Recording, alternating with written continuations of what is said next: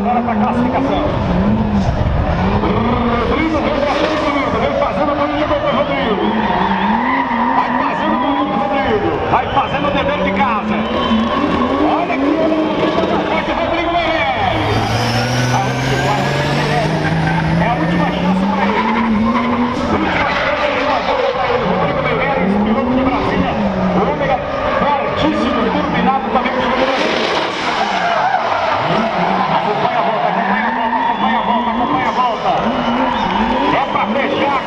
Passou o Francisco Meirelles. Ah, que pena! Quem gostou pode bater palmas aí. Colocado em São Paulo, o com o Chevette.